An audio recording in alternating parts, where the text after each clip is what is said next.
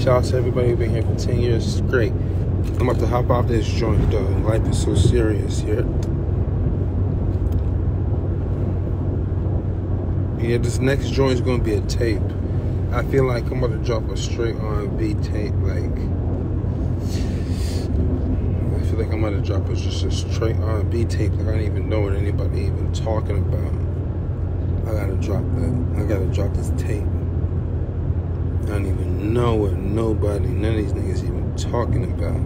I gotta drop this tape, heard? Then I'm gonna drop the album on them, yeah? Shout out to everybody supporting the realest. Man, I have no gimmick to give y'all.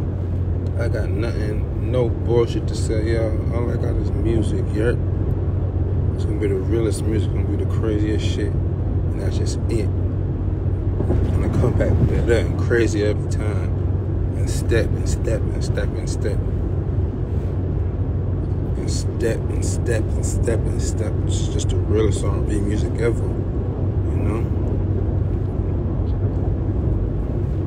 That just is what it is.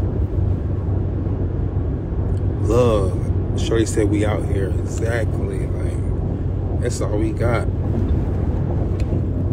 I don't even know what these niggas making music about. You heard? That's all we look. Look, I don't even know what they talking about. This music I gotta get here on this. It's gonna be just the raw shit and that's it. A lot of six foot three shit, a lot of standing tall shit, a lot of big niggas. Rap is a whole lot of cap right now. You heard? So we just gonna drop the realest shit ever. That's it, and that's it, that's it, that's it.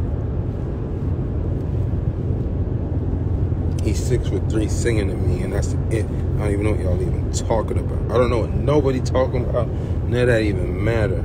You heard? Exactly. We just dropping it. That being said, I'm out. Shout for the support, all that good shit. Man. Life is good. Life is great.